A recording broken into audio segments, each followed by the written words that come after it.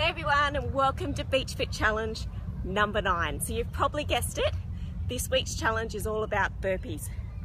So spring has definitely sprung. Now is the time to give everything you've got to each training session to get your body in a great shape for summer.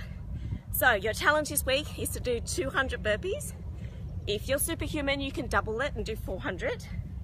Okay, so all you need to do to enter this week's challenge is to take a photo or video of yourself doing the challenge and there'll be prizes as usual to give away.